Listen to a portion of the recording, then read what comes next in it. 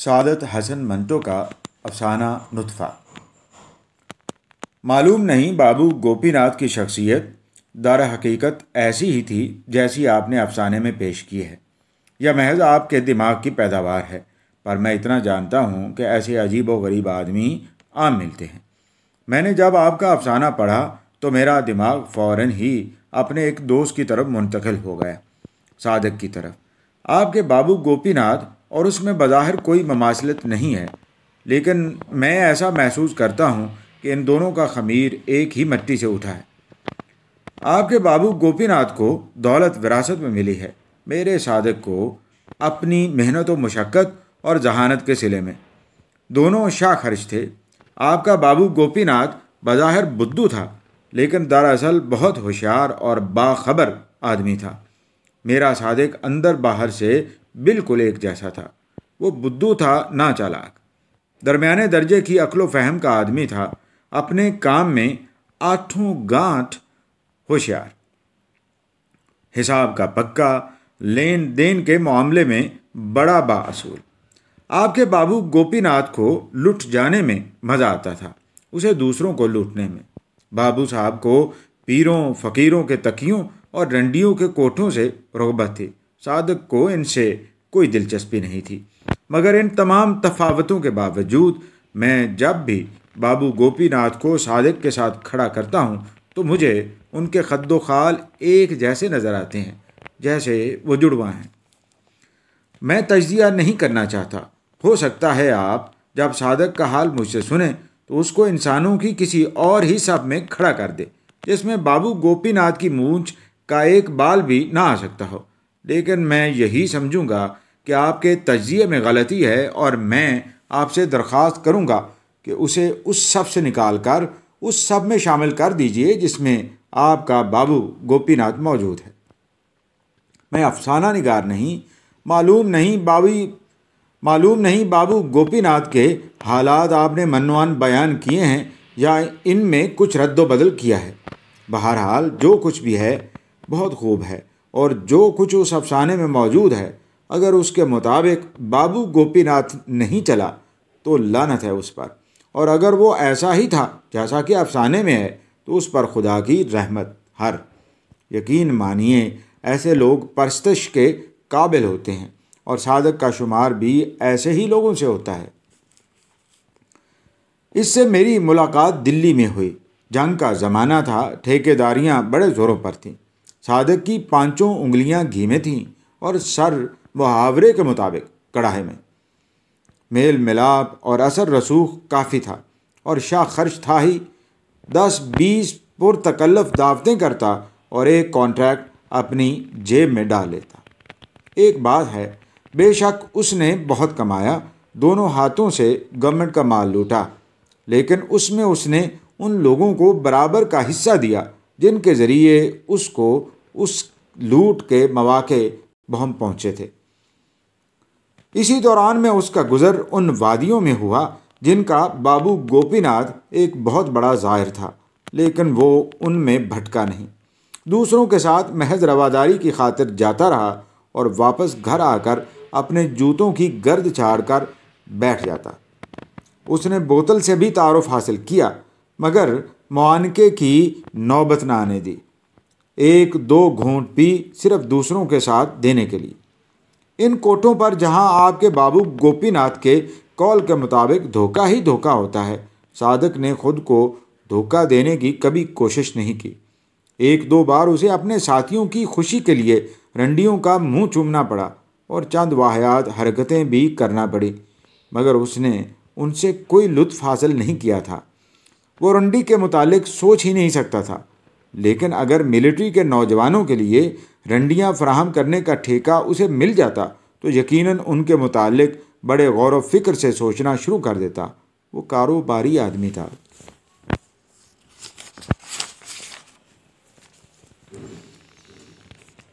लेकिन एकदम हालात ने कुछ ऐसा पलटा खाया कि सादिक, वो सादिक ही नहीं रहा।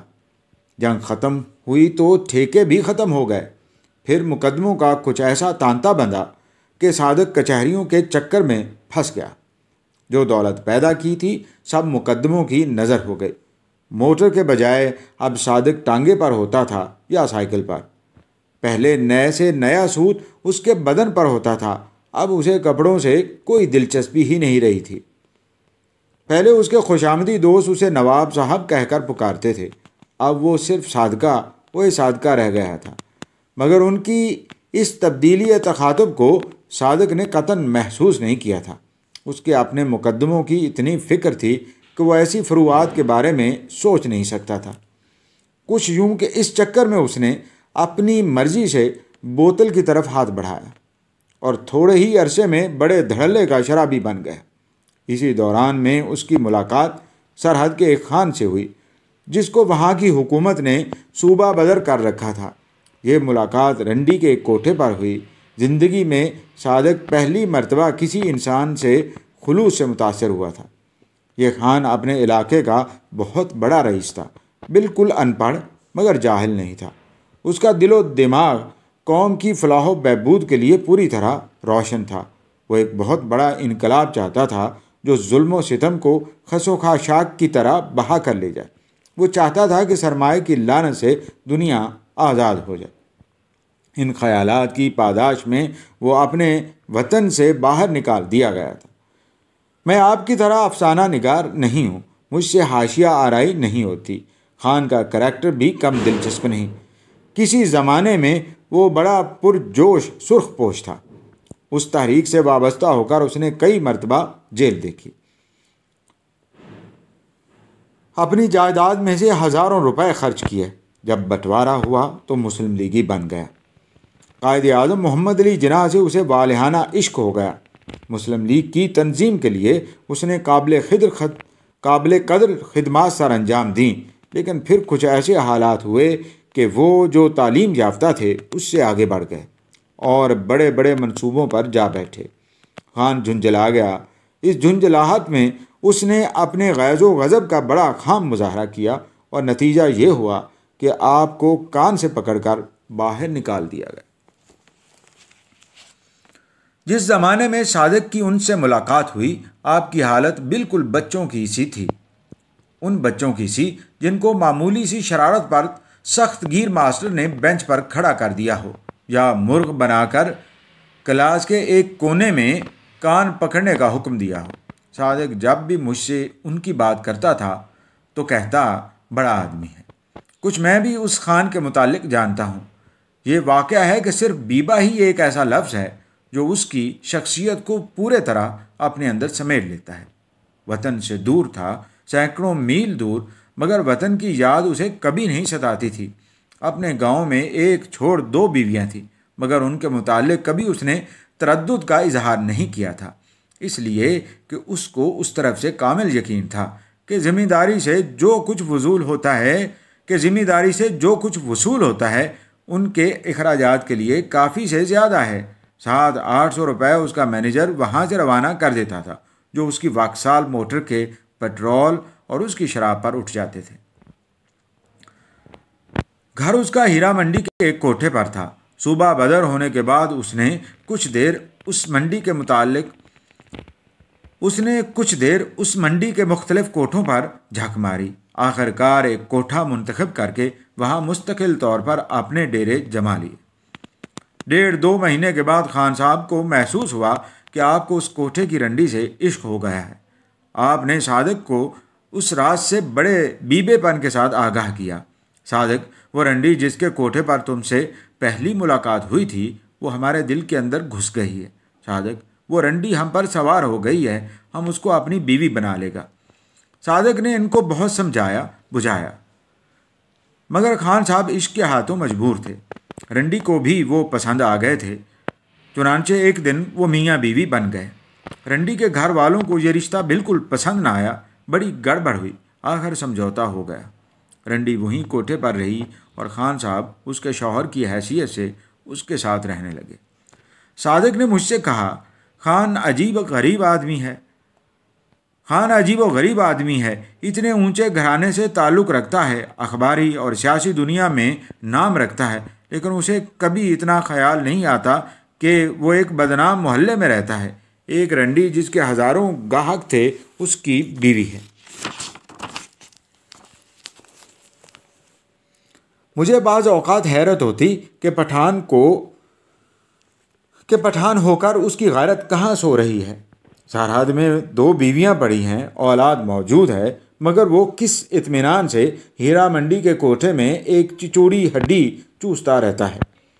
उससे इस बारे में कुछ कहता हूँ तो उसके बेर या चेहरे पर हल्की सी मुस्कुराहट पैदा हो जाती है और वो मुझसे कहता है, सादिक, वो लोग इधर राज़ी खुशी हैं। और वो मुझसे कहता है, सादक, वो लोग उधर राज़ी खुशी की और वो मुझसे कहता है, सादक वो लोग उधर राज़ी खुशी है। हमें कोई तरद नहीं। और ये रंडी बहुत अच्छा है। हमसे मोहब्बत करता है। जो औरत उधर रहता है ना, मोहब्बत करना नहीं जानता। नाज नखरे नहीं जानता। और मुझे यकीन आ जाता। मुझे उसकी हर बात का यकीन आ जाता है। और ये वाक़ है सादक। और ये वाक़ है कि सादक जिसको पहले किसी बात का यकीन नहीं आता था। अब उस खान के कहने पर चलता है। जब वो मुकदमों से फारग हुआ तो उसके कहने पर उसने मिलिट्री की छोड़ी हुई बारकें ढाने और उनका मलबा उठाने का ठेका ले लिया और इस काम से उसे नफरत थी।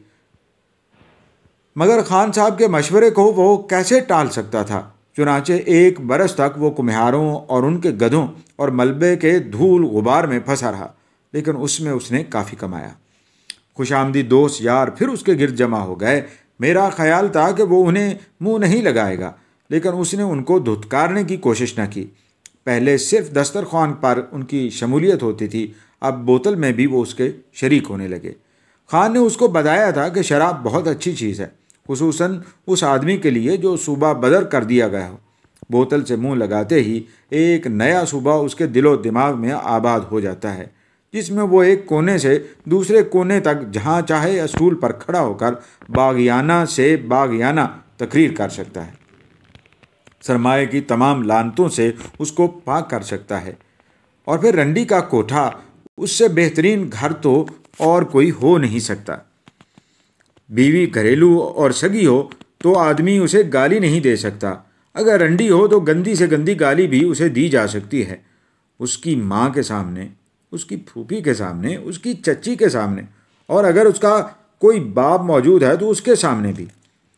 फिर वो उसे अपने मखसूस खाम और बीबे अंदाज में रोज़मर्रा ज़िंदगी में गाली की अहमियत बयान करने लगता और उसे बताता कि यह बहुत ज़रूरी चीज़ है। अगर आदमी उसे वक्ता फ़वक्ता अपने अंदर से बाहर ना निकाले तो तफन पैदा हो जाता है, जो बिलाखर दिलो दिमाग पर बहुत असर करता है।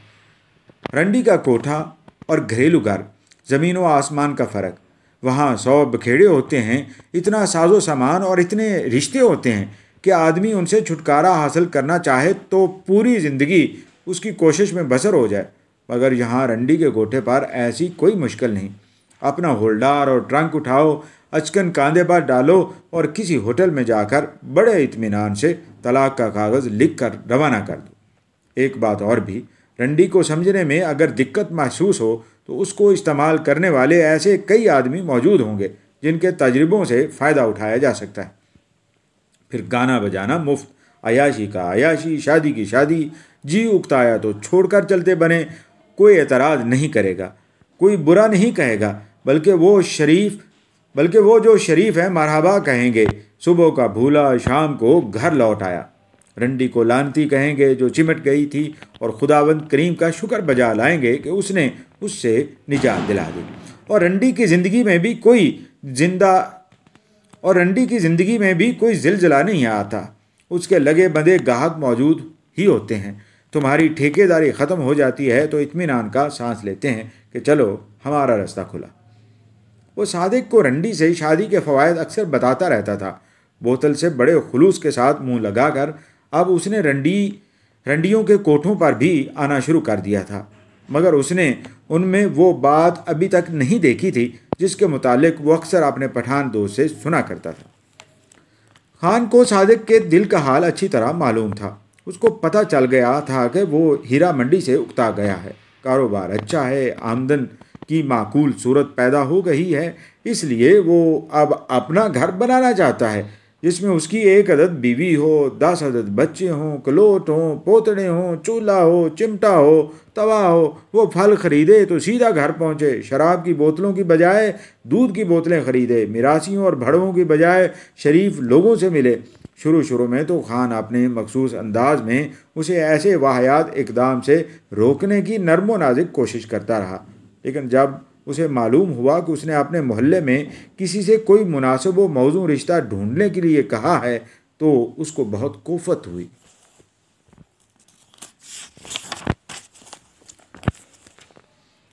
सादिक, ये तुम क्या हमाकत करने वाला है? शादी वादी हरगिज मत करना। ये दुनिया ऐसी है जहाँ किसी वक्त भी तुमको सूबा बदर या शहर बदर कर दिया जा सकता है।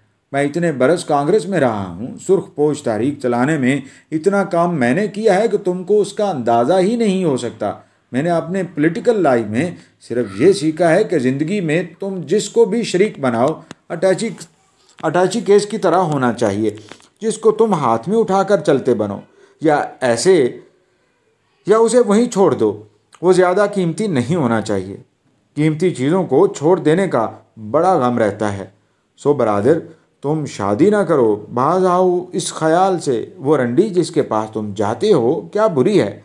उससे इश्क करना शुरू कर दो। ये कोई मुश्किल काम नहीं। थोड़ी सी प्रैक्टिस कर लो तो सब ठीक हो जाएगा। सादिक ने घरेलू किस्म की औरत से शादी के हक में अपने दलाल पेश किए, मगर खान के सामने उनकी कोई पेश न चली। सादिक, तुम उल्लू है। खुदा की कसम उल्लू है। तुम्हारी हर बात नहीं मानता। तुम हमारी बात नहीं मानता जिसके पास दो बीवियाँ हैं, अपने कबीले की। तुम हमारी बात मानो, हम तुम्हारा दोस्त है। पठान है, खुदा की कसम खाकर कहता है कि हम झूठ नहीं बोलता। ये दुनिया जिसमें हम, ये दुनिया जिसमें हम जैसे मुखलस आदमी को सूबा बदर करने वाले हाकम मौजूद हैं, उसमें रंडी के कोठे ही को अपना किरदार, अपना घर बनाना चाहिए। हमको तो यहाँ बहुत आराम है। तुम भी हीरा मंडी में अपना घर बना लो और आराम करो। सादिक अजीब मखमसे में गिरफ़्तार था। मुझसे मिलकर वो घंटों बातें करता रहता था। वह हीरा मंडी के सख्त खिलाफ था, मगर थोड़ी देर के बाद मैंने महसूस किया कि उसका कायल होता जा रहा है, क्योंकि अब खान की कही हुई बातें यूँ सुनाता था जैसे उसके दिल को लग चुकी हैं। चुनाचे एक रोज़ उसने मुझसे कहा, मैंने सारी उम्र ठेकेदारी की है और ठेकेदारी से बढ़कर बेईमानी का कोई और कारोबार नहीं हो सकता। इसका अव्वल खोट इसका आखिर खोट ये ऐसा बाज़ार है जिसमें कोई खरा सिक्का नहीं चल सकता। सुना है, विलाज में ऐसी मशीनें हैं जिनमें अगर खोटे सिक्के डाले जाएँ तो वो बाहर निकाल देती हैं। लेकिन ठेकेदारी एक ऐसी मशीन है जिसमें अगर खरे सिक्के डाले जाएँ तो कबूल नहीं करेगी। फ़ौर बाहर निकाल देगी। मुझे सारी उम्र यही कारोबार करना है कि मुझे सही आता है, कि मुझे सिर्फ़ यही आता है। तुम क्यों ना तो क्यों ना मैं हीरा मंडी ही में अपना घर बना लूँ? वहाँ खरे सिक्के चलते हैं, लेकिन उनके इवज जो माल मिलता है उसमें सिर्फ़ खोट ही खोट होता है। मैं समझता हूँ मेरी रूहानी तस्कीन के लिए वहाँ की फ़िज़ा अच्छी रहेगी। फिर एक रोज़ उसने मुझे बताया, खान, बहुत खुश है। उसकी दो, उसकी दोनों बीवियाँ वहाँ सारा में उसके घर में खुश हैं। उसकी औलाद भी खुश है। उनकी खैर खरीत उसको अपने मैनेजर के ज़रिए से मालूम होती रहती है। यहाँ हीरा मंडी में उसकी रंडी भी खुश है, उसकी माँ भी खुश है, उसकी फूफी भी खुश है, उसके मिरासी भी खुश हैं। और सबसे बड़ी बात तो यह है कि खान खुश है। कभी कभी इन हाकमों के ख़िलाफ़ एक बयान अखबारों में शाये कर देता है, जिन्होंने उसको सूबा बदर किया था और अपनी रंडी को सुना देता है। वो भी खुश हो जाती है। उस रात गाने बजाने की महफिल गर्म होती है और ख़ान मसनद पर गाँव तकिए का सहारा लेकर यूँ बैठता है, जिस तरह एक तमाशबीन। उस्ताद साहब और मिरासियों से उस तरह बातें करता है जैसे उसने नई तमाशबीनी शुरू की है। उसकी रंडी मुजरा करती है और वो जेब में हाथ डालकर उसको दस रुपए का नोट देता है, फिर पाँच का, फिर दो का और फिर एक रुपए वाला। उसके बाद वो महफिल बर्खास्त कर देता है और उस रंडी के साथ सो जाता है और उस मनकुआ औरत के साथ ऐसी रात बसर करता है जो गुनाह आलूद हो। मैं तो समझता हूँ, ये बड़ी मज़े की चीज़ है। लेकिन जब उस रंडी से शादी का सवाल पैदा हुआ, यानी ख़ान ने सब मामला तैयार कर दिया और सिर्फ़ इजाब कबूल की रस्म बाकी रह गई थी तो सादक पीछे हट गया। ख़ान आग बगोला हो गया। मेरे सामने उसने सादक को बहुत लान तान की। तुम्हारी समझ पर पत्थर पड़ गए हैं, सादक। तुम उल्लू के भट्टे हो। शरीफ औरत से शादी करके खुदा की कसम तुम पिछताओगे। ये दुनिया ऐसी नहीं है, परवरदिगार की कसम जिसमें शराफत से शादी की जाए। इसमें रंडी अच्छी रहती है। तुम शरीफ मत बनो। यार देखो, अगर तुम शरीफ बन गए तो सूबा बदर कर दिए जाओगे। तुम हीरा मंडी में रहो। यहाँ सिर्फ़ यही एक सूबा है, जिसमें से तुम दबर, जिसमें से तुम बदर नहीं किए जा सकते। इसलिए कि उसके साथ कोई हाकम अपना रिश्ता कायम नहीं करेगा। तुम गधे हो। अपना घर यहीं बनाओ। इससे बेहतर जगह तुम्हें और कहीं नहीं मिल सकती। सादिक ने अपने मोहल्ले में एक जगह बात पक्की कर ली थी। जब खान ने उसको समझाया बुझाया तो उसने अपना इरादा तर्क कर दिया। लेकिन वो रंडी से शादी करने पर आमादा ना हुआ। उसने मुझसे कहा, मैंने अब शादी का ख्याल ही छोड़ दिया है। मैं खान का कहना ज़रूर मान लेता, मगर मेरा दिल नहीं मानता। मैं अब ऐश करूँगा, एक रंडी के पास नहीं, कई रंडियों के पास जाया करूँगा। और उसने मुतद रंडियों के यहाँ जाना शुरू कर दिया। उसे अब कई ठेके मिल गए थे। उसके पास फिर दौलत की फरावानी थी। हीरा मंडी से जब वो मोटर में गुजरता था, चारों तरफ़ कोठों पर रंगीन मुस्कुराहटें तीतरियों की तरह उड़ने लगती। अब वो फिर नवाब साहब था, हीरा मंडी का नवाब साहब। पूरे तीन बरस वो खेल खेलता रहा। मेरा ख्याल है, गालिबन खान की इस कोशिश का रद्द अमल था जो उसने सादक को अपने कालब में ढालने के लिए की थी। वो चाहता था कि अपने तजर्बात का निचोड़ उसके हलक में डालकर उसको अपने जैसे बना ले। मगर उसका नतीजा ये निकला कि सादक इधर का रहा ना उधर का। वो पूरा अबाश बन गया। जिस रास्ते से उसको नफ़रत थी, वो उसी का अनथक मुसाफिर बन गया। मैंने उसको बारहा समझाया कि देखो सादिक, बाज आ जाओ। अपनी जवानी, अपनी सेहत और अपनी दौलत यूँ बर्बाद ना करो। लेकिन वो ना माना। मेरी बातें सुनता और मुस्कुराता। मेरी दुनिया खोट की दुनिया है। इसमें सिर्फ़ एक बटा सौ हिस्सा सीमेंट होता है। बाकी सब रेत। और वो भी जिसमें आधी मट्टी होती है। मेरी ठेकेदारी में जो इमारत बनती है, उसकी उम्र अगर, उसकी उम्र अगर कागज़ पर पचास साल है तो ज़मीन पर दस साल होती है। मैं अपने लिए पुख्ता घर कैसे तामीर कर सकता हूँ? रंडियाँ ठीक हैं। मैंने सोसाइटी के उस मलबे का भी ठेका ले लिया है। मैंने सोसाइटी के इस मलबे का भी ठेका ले रखा है। हर रोज़ एक ना एक बोरी ढूंढ कर हर रोज़ एक ना एक बोरी ढोकर ठिकाने लगा देता हूँ। वो बोरियाँ ढो ढोकर अपनी दानिश में ठिकाने लगाता रहा। मैंने उससे मिलना जुलना बंद कर दिया था। वो बहुत बदनाम हो चुका था। उसको मालूम था कि मैं उससे नाराज़ हूँ, लेकिन उसने मुझे मनाने की कोई कोशिश ना की। डेढ़ बरस के बाद एक दिन अचानक वो मेरे पास आया और ऐसा लगा कि वो बहुत ज़रूरी बात करना चाहता है, मगर कह नहीं सकता। मैंने उससे पूछा, कुछ कहने आए हो? उसने जवाब दिया हाँ मैं शादी कर रहा हूँ। किससे? एक रंडी से। मुझे बहुत गुस्सा आया। बको नहीं। उसने बड़ी संजीदगी से कहा, मैं मजबूर हो गया हूँ। मैं चिढ़ गया। मजबूरी कैसी? सादक ने सर झुकाकर कहा, उसके नुतफ़ा ठहर गया है। मैं ये सुनकर खामोश हो गया। उससे क्या कहूँ? कुछ समझ में नहीं आता था। सादिक ने अपना झुका हुआ सर उठाया और कहना शुरू किया, मैं मजबूर हो गया हूँ। शादी के सिवा अब और कोई चारा नहीं। सादिक ने इस रंडी से शादी कर ली, मगर उसके कोठे को उसने अपना घर ना बनाया।